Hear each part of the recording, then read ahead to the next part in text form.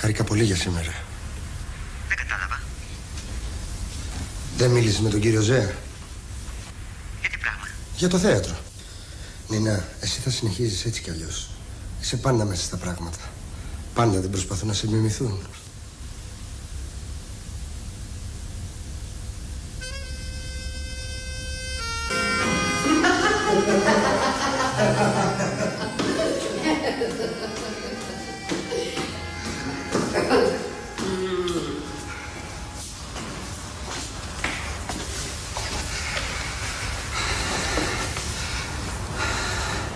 Σε ευχαριστώ.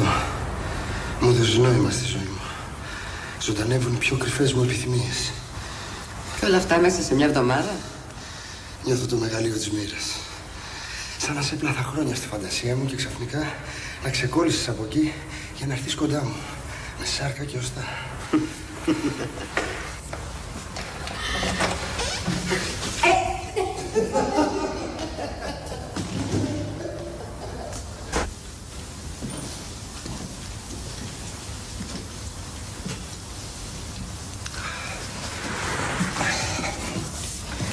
Άμα μιλάω για δουλειές, εγώ ξελαμπικάρω.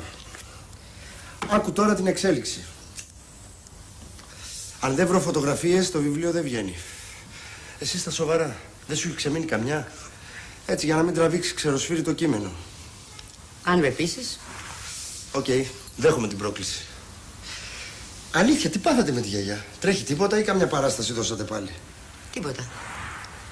Τι τίποτα. Τους κλέφτες και αστυνόμους παίζατε. Μπορεί να ανοιχτεί την αλήθεια. Αν τη θυμάσαι.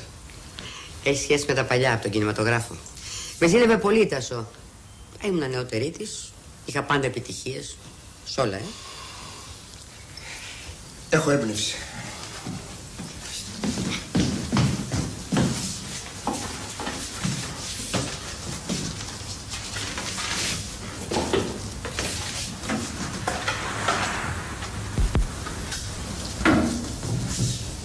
Απόψε είμαστε και οι δυο ηθοποιοί. Αυτοσχεδιάζουμε.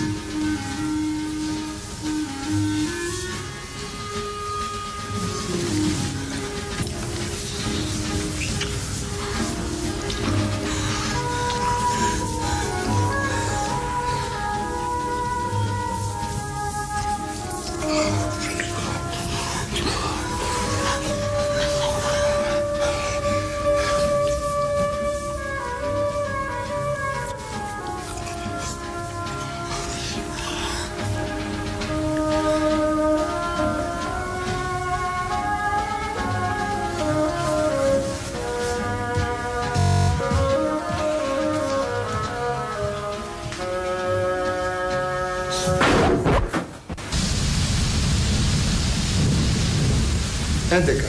Δύο ώρες ακριβώς αν χτυπάς κάρτα. Από εδώ και πέρα θα κάνω εγώ το κουκ.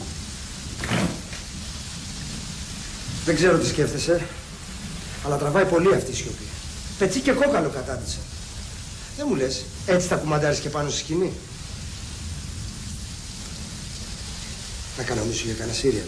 Τίποτα guest star. Ε; Λαβράκι είναι αυτές οι πούστια στα κανάλια. Ένα πέρασμα τραβάς μόνο, τα τσακώνεις χοντρά και ούτε φθείρεσαι ούτε σε συνηθίζει ο κόσμος.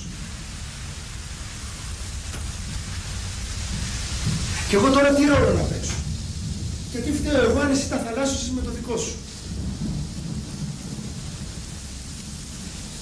Αν πεις κάτι, ίσως μπορέσω να σε βοηθήσω, δεν το καταλαβαίνεις. Δεν κάνει συνέχεια έτσι. Θα πρέπει να σε περιφρονήσει κανείς γι' αυτό. Θα ετοιμάσω αυτό που σου αρέσει. Θα φτιαχτείς αμέσως.